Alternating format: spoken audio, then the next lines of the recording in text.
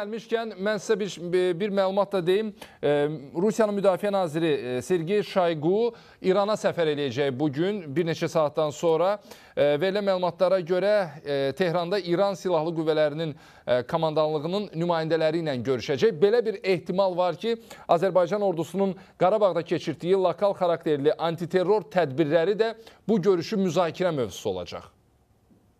Mutlaka, mutlaka tabii Burada, düşünürsünüz? burada Şaygu sırf bu meseleye göre Azerbaycan'ın antiterror tedbirlerine göre İran'a sefer edip yoksa bunun e, bunun başka bir e, manası veya e, yozumu da var.